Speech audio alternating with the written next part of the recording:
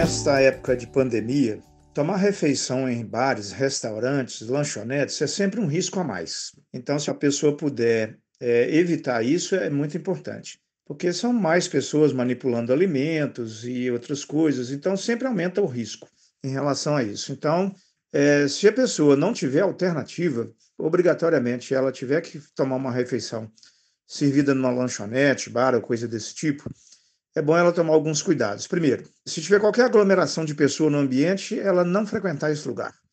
É, se as pessoas que estiverem atendendo estiverem sem máscara, também não frequentar esse lugar. Se ela puder dar preferência para alimento industrializado, embalado hermeticamente, é mais seguro. Né? Não comer nada cru. Se tiver que comer alguma coisa, que seja algo que seja bem cozido, bem passado e de preferência feito na hora.